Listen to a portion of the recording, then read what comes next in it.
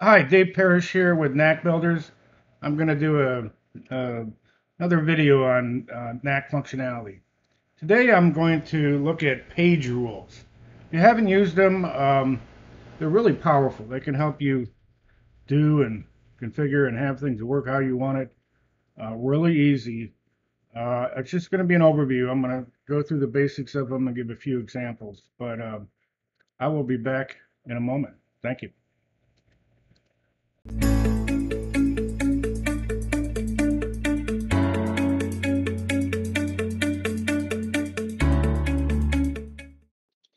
Okay, Dave Parrish uh, with Knack Builders back to discuss uh, or have an overview of how page rules work. So let me just, I'm going to get out of this. First of all, page rules, um, you need to, I believe, the pro plan or larger to use. So you're going to make sure you're on that. And Knack actually also has an article on page rules. I'm going to put this in the comments on my YouTube video below. Um, they go in a fair amount of detail, but that could be a nice resource also. So I'm just going to, mostly what I'm doing here is just share a few ways I've been using them. Uh, there are a lot of ways to use uh, page rules, as clever as you want to get. So uh, a few examples uh, is about all I'm going to do here. Here's an app um, that searches, it's in Chicago and it's for kids who are looking for vocational programs, like getting ready to graduate high school.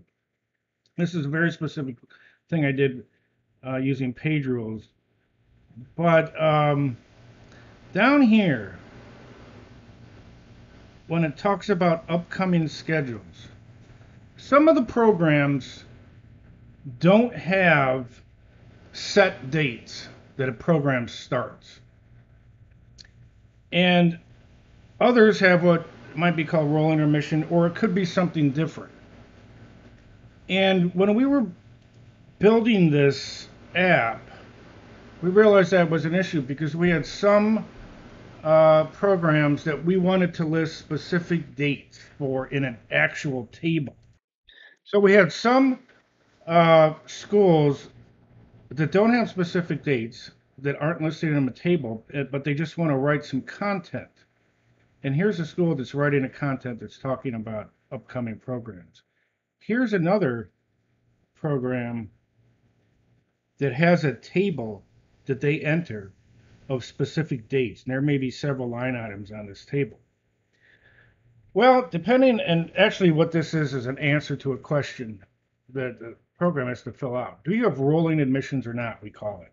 And if it uh, is one or the other, we want this to show. We don't want a table, if they don't have these specific dates in the future, to show up and be blank. We instead want some content to show. Page rules allows this to happen. Now I'll show you how that works. Let's go over to where this stuff is. Uh, let me get to the app here.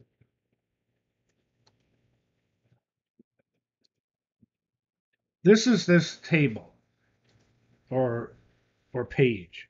There's a bunch of content on it. And these are all the elements.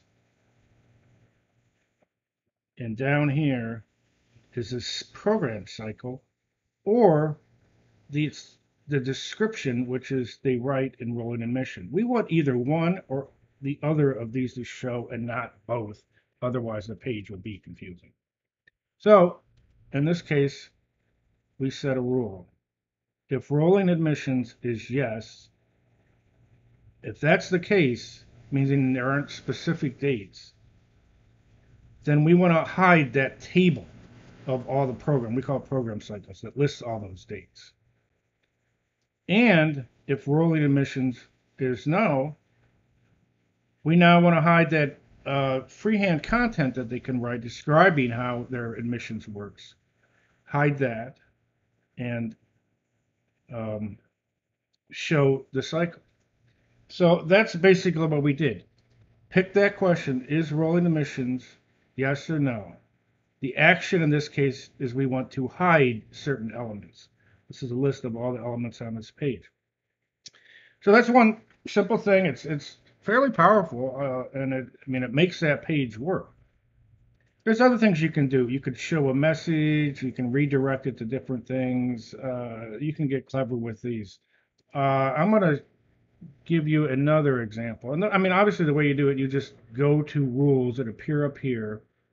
If it's blank, it will say add a rule, and then you configure it how you want, and you pick your actions and what you're going to do. And if you need another rule, you click plus and you add another rule. Um, I'm going to grab another one. This is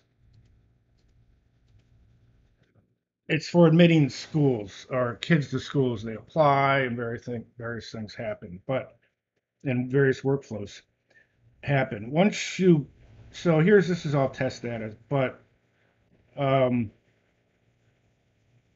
this is the detail page of a child. It is all about the child. It's a history of when they applied, when they submit, all the different things, what parents have uploaded, um, various actions that need to be occurred. Just a, these are logs of all the stuff that happens during this somewhat detailed application process.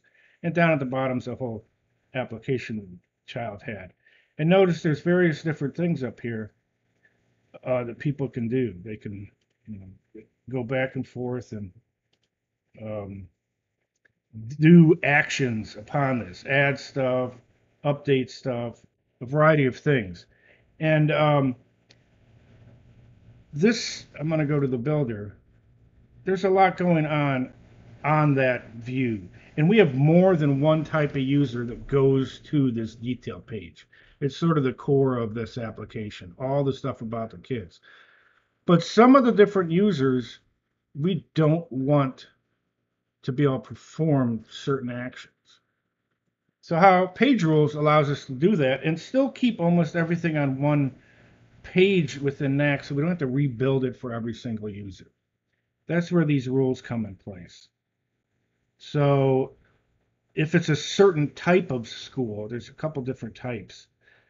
Things that don't apply to that school are now hidden. This is what these do. Now these get into the different user roles if an account is this type of user, we want this hidden, this hidden, and that hidden. Because we don't want to do what these things allow them to do. We don't want them to have the access to do it. Some other administrator does it. Um, and this goes on, same sort of thing. And we're just hiding and showing different types of things based on um, criteria we already have in the app.